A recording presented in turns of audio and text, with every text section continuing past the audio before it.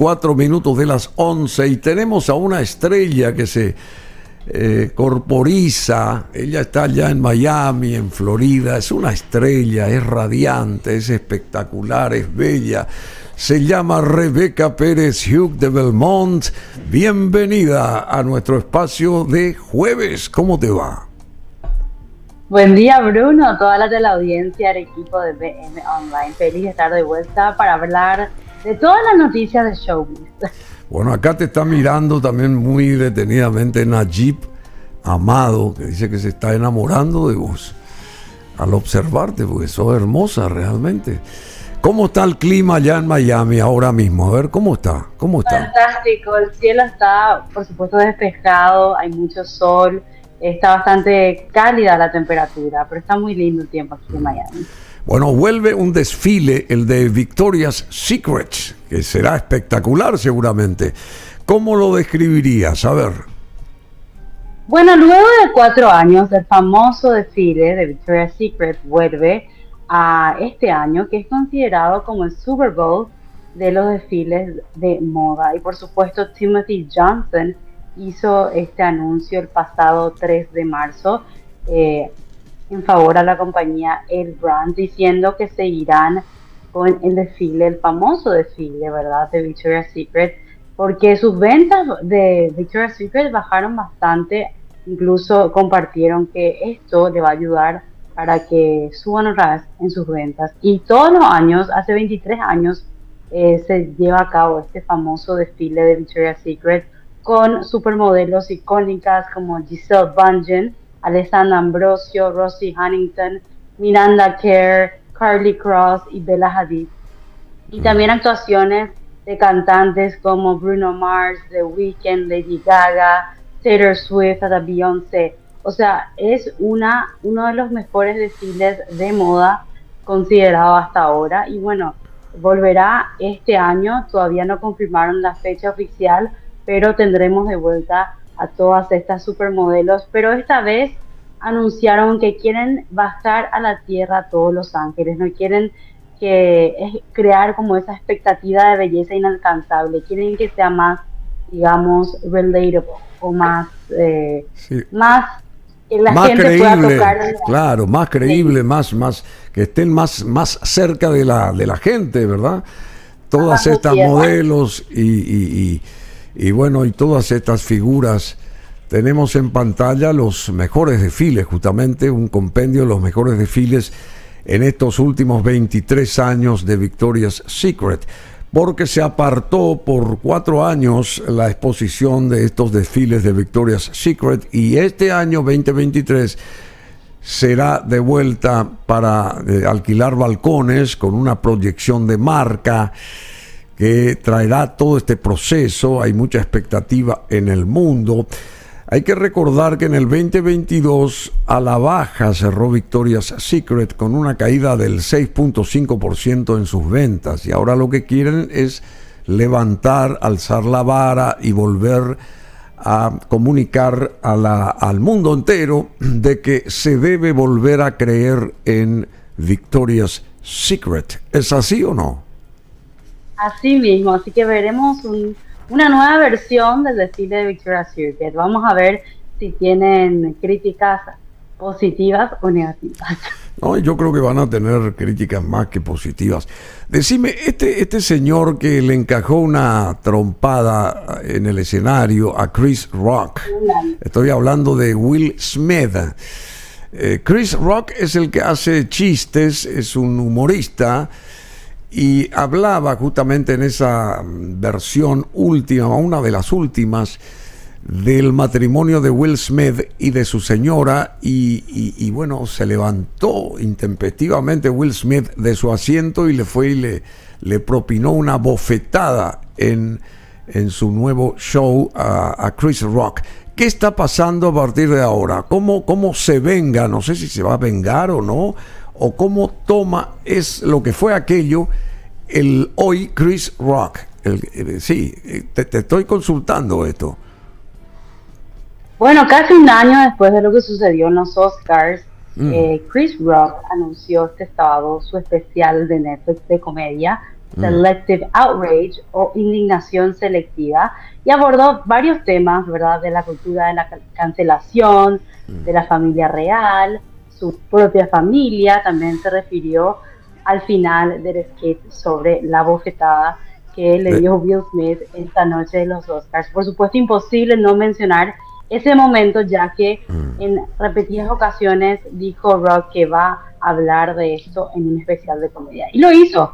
Eh, en el especial, por ejemplo, habló de cómo Will Smith eh, básicamente fue humillado por su esposa en varias ocasiones, porque los que no saben, eh, Jada Smith tiene un, un show que se llama Red Table Talk, en donde ella habla acerca de su matrimonio, invita a celebridades, habla acerca de su vida personal.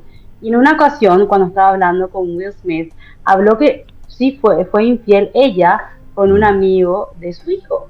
Mm. Así que fue un momento que ella decidió compartir a, a millones de personas y según Chris Rock, mm. que él está castigando por todo lo que le hizo su esposa. Básicamente le fue infiel, eh, Tupac básicamente fue el amor de su vida, ella le dijo al marido, en varias cosas que sucedió en ese matrimonio, así como muchos, ¿verdad?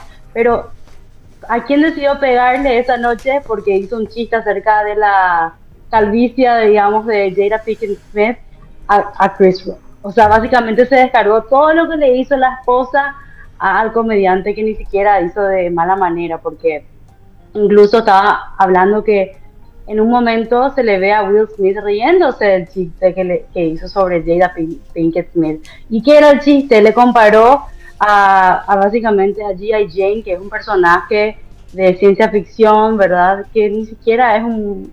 Era, creo que Demi Moore fue la que hizo G.I. Jane en, ese, en los 90. Y simplemente le comparó porque estaba, eh, no tenía pelo, ¿verdad? Eh, Jada Pinkett Smith porque sufre de alopecia. Y parece que Will Smith al final no le gustó ese chiste y le metió la bofetada.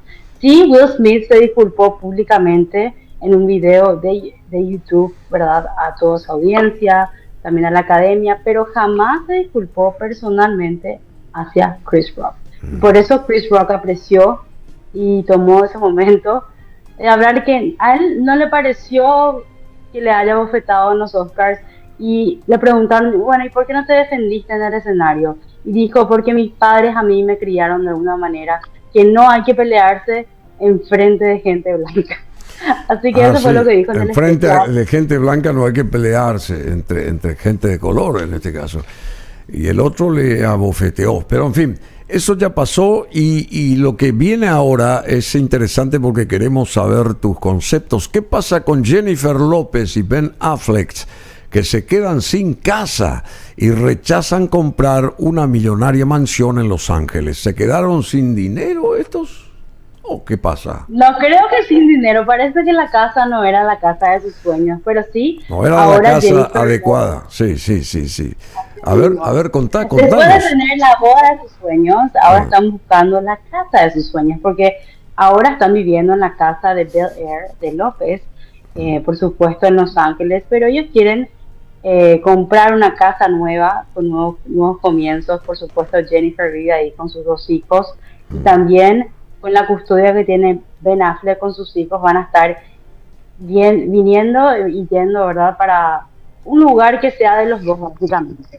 Y por supuesto en las últimas semanas inició como una compra para una casa ubicada en Los Ángeles valorizada a 42 millones de dólares y ya pusieron como un down payment o un escrow de 32 millones de dólares. Y hace algunos días, según el medio de TMZ, retiraron 32 millones de dólares que fue, digamos, el depósito que dieron para esa residencia y sacaron de, de la cuenta de escrow y básicamente cancelaron la venta a última hora. Bueno, esta casa, podemos ver en pantalla, tiene siete habitaciones, y es una casa gigantesca, siete dormitorios, trece baños, un estilo de los House.